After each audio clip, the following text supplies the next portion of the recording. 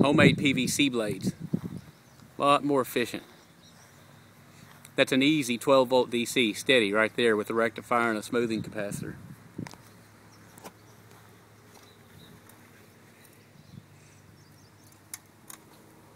As you can see, it's very little breeze.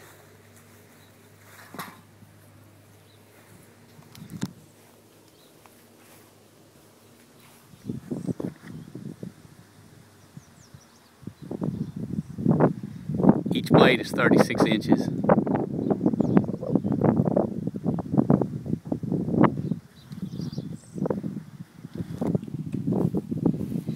Plus I use the uh, the bearings instead of a slip ring.